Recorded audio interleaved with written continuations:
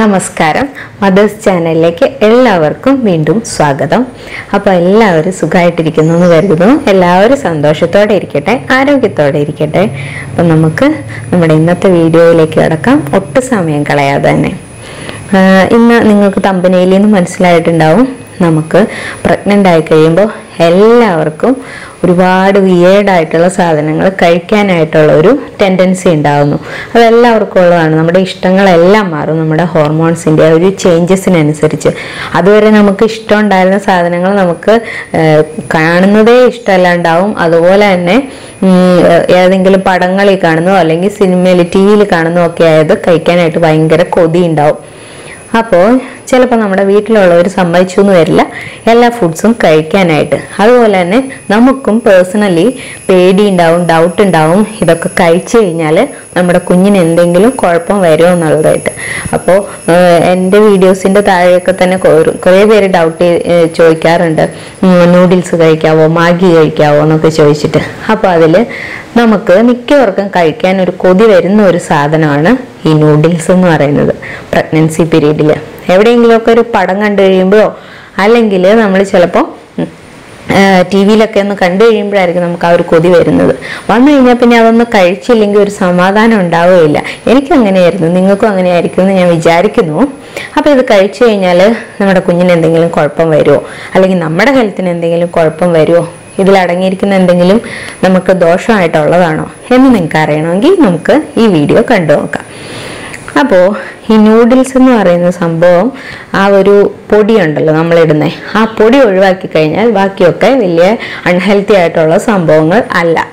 പക്ഷെ നമ്മൾ ആ പൊടി ചേർത്തില്ലെങ്കിലോ നമ്മുടെ മാഗിക്ക് എന്തെങ്കിലും അല്ലെങ്കിൽ നൂഡിൽസിന് എന്തെങ്കിലും ടേസ്റ്റ് ഉണ്ടാവുമോ നമ്മളൊരു സവോള എടുത്തിട്ട് വെള്ളത്തിൽ വെറുതെ പച്ചക്കിട്ട ഉപ്പൊന്നും ഇടാതെ വേവിച്ച് കഴിച്ചാൽ എങ്ങനെ ഉണ്ടാവും അതേ ഒരു രുചിയായിരിക്കും. നമ്മൾ ആ പൊടി ചേർക്കാതിരുന്നു കഴിഞ്ഞാൽ അപ്പോൾ പൊടി അല്ലെങ്കിൽ M S G monosodium glutamate എന്ന് പറയുന്ന ആ ഒരു പൊടിയാണ്. അത് നമ്മുടെ ഫുഡ് അഡിറ്റീവ്സും ഫ്ലേവറിങ് സബ്സ്റ്റൻസും ആണ്. അതായത് ടേസ്റ്റ് ഉണ്ടാക്കുന്ന കളർ തോന്നിക്കുന്ന നല്ല ഒരു മണം തരുന്ന ഒരു സംഭവമാണ് ഈ എം എസ് ജി എന്ന് പറയുന്നത്.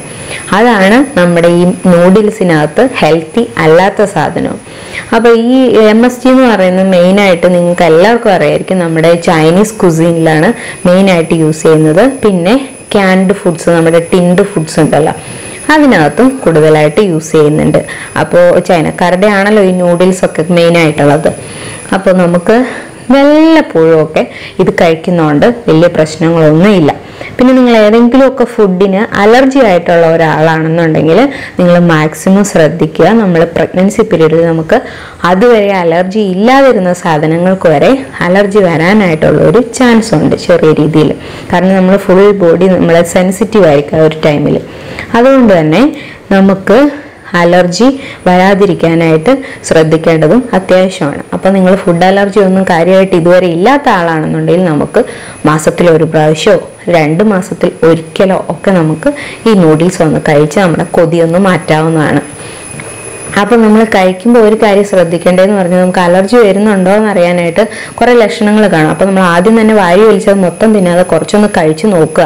നമുക്ക് എന്തെങ്കിലും കുഴപ്പം വരുന്നുണ്ടോ എന്ന്. അപ്പം നിങ്ങൾക്കൊരു ഛർദ്ദിക്കാൻ വരുന്ന പോലെയോ അല്ലെങ്കിൽ തലവേദന വരുന്നു അതോ അല്ലെങ്കിൽ നമ്മൾ ഭയങ്കരമായിട്ട് വിയർക്കുന്നു ഫ്ലഷിങ് പോലത്തെ ഒരു ഫീലിംഗ് വരുന്നു അല്ലെങ്കിൽ ഒരു മരവിപ്പ് പോലെ അങ്ങനെ എന്തെങ്കിലും വരുന്നു നല്ല തലവേദന ഒക്കെ ഉണ്ടെന്നുണ്ടെങ്കിൽ പിന്നെ നമ്മൾ ഒഴിവാക്കുക. കാരണം നമുക്കത് അലർജി ആയിട്ടുണ്ട്. അപ്പം നമ്മൾ പിന്നെ സമയം ഹോസ്പിറ്റലിൽ പോകണം ഫുഡ് പോയിസൺ ആവും നമുക്ക്. പോയിട്ട് മെഡിസിൻ എടുക്കുക. കുഴപ്പമൊന്നും വേറെ കുഴപ്പമൊന്നും കുഞ്ഞിന് വരില്ല. പെട്ടെന്ന് തന്നെ. ആ ഒരു കുറച്ച് ക്വാണ്ടിറ്റിയെ നമ്മൾ കഴിച്ചോളൂങ്കിൽ അപ്പോൾ ഇതൊന്നും ഇല്ല നിങ്ങൾക്കെന്നുണ്ടെങ്കിൽ ഈ പറഞ്ഞ പോലെ വല്ലപ്പോഴും ഒരിക്കൽ നമുക്കൊന്ന് നൂഡിൽസ് ഒന്ന് ട്രൈ ചെയ്യാവുന്നതാണ്. പിന്നെ ഈ അലർജി ഇല്ല അല്ല അലർജി ഉള്ളവർ മാക്സിമം നമ്മൾ അതങ്ങ് ഒഴിവാക്കുക. പിന്നെ വേറെ ഒരു കൂട്ടർ നമ്മൾ രണ്ട് കാര്യങ്ങൾ കൂടി നമുക്ക് ഉണ്ട് എന്നുണ്ടെങ്കിൽ പ്രഗ്നൻസി പീരീഡ് കഴിയുന്നവരെ നമ്മൾ നൂഡിൽസ് അങ്ങ് ഒഴിവാക്കി നിർത്തുക. എത്ര കൊതി വന്നാലും.